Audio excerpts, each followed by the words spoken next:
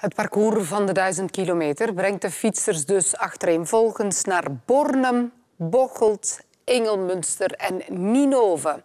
We hebben onze meest ideale reporter op pad gestuurd om die nieuwe middagsteden van de 1000 kilometer van nabij te leren kennen. Bornem is onze eerste middagstad. Deze parel aan de Schelde vind je langs de N16 tussen Mechelen en Sint-Niklaas. Bornem is wereldberoemd in Vlaanderen door zijn fort, zijn jaarlijkse palingfeesten, maar vooral ook omdat er elk jaar duizenden zotten te voet vertrekken om er na 100 kilometer wandelen met voeten vol blaren weer aan te komen.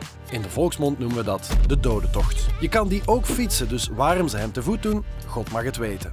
Bornem is ook het geboortedorp van Albert Sercu, de vader van Patrick Sercu, de beste zesdaagse renner die ons land ooit heeft voortgebracht. Andere bekende Bornemnaren zijn Sanne, die van Erik van Nijgen, weervrouw Sabine Hagedoorn, viroloog Mark van Ranst, Christine van Pillicom en Janka Vleerakkers. Maar bovenal is Bornem een paradijs voor elke wielertoerist die langs de Schelde fietst. En stel dat je er toevallig stopt voor een middagpauze, dan kan je genieten van een Bornemse paling in het groen, een Bornemse dobbel, een Bornemse trippel, Bornemse speculoos, een slijkneus en Bornemse koeken. De tweede middagstad is Bocholt. Bocholt ligt aan het kanaal Bocholt-Herentals ergens tussen Eindhoven en Hasselt in het noorden van Limburg. Wie Bocholt zegt, zegt Bocholt bier. Sinds 1758 worden er in de brouwerij Martens alcoholische dranken gebrouwen. En daar zijn ze in Bocholt zo fier op dat ze naast de brouwerij het grootste brouwerijmuseum van Europa hebben neergepoot. Bekende Bocholtenaren zijn de Bokkenrijders, oud-voetballer Jackie Peters en Devon van de Callboys. Nu gaan we vegen. Bocholt heeft één keer de wereldprijs gehaald toen ze in 1910 de toren van de Sint-Laurentiuskerk 9,4 meter hebben opgeschoven. Waarom en hoe ze dat deden, dat staat op het internet. Bocholt is ook een paradijs voor elke fietsliefhebber die de Limburgse Kempen wil verkennen. En stel dat je er toevallig stopt voor een middagpauze, dan kan je er genieten van Bocholtse kaas met een Bocholtse pils, een Bocholt seizoensbier, een Bocholt spitsbier, een Christoffelwitbier, een Christoffelblondbier, Ingelmünster is de derde middagstad. De parel van de Mandelrivier ligt geprankt tussen Kortrijk, Roeselare en Waregem. Ingelmünster is de Brigantsgemeente. Waarom dat zo is, staat ook op het internet. Ingelmünster is wereldberoemd in geitenwolle sokkenmiddens vanwege het volkfestival Labadou, het kasteel van Ingelmünster en de beachparty van de Scouts en de oervuif van de KLJ.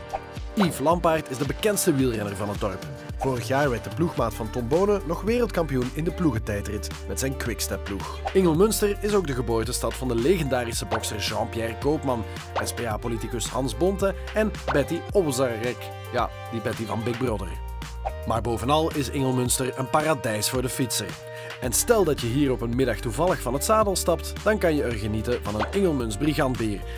En dat is het zo'n beetje. Brigandbier is het enige streekproduct van Ingelmünster. Maar in de buurt vind je wel nog Meulenbeekse lekkerkoeken, spekjes, nonnenbillen en meetjesvel. En ook nog Isegemse schoentjes.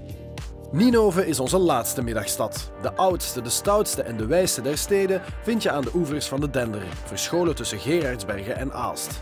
Van 1973 tot 2011 lag de aankomst van de Ronde van Vlaanderen in Meerbeke, een deelgemeente van Ninove. Maar een of andere wielerdespoot heeft ervoor gezorgd dat de streep van Vlaanderen's mooiste nu ergens anders ligt.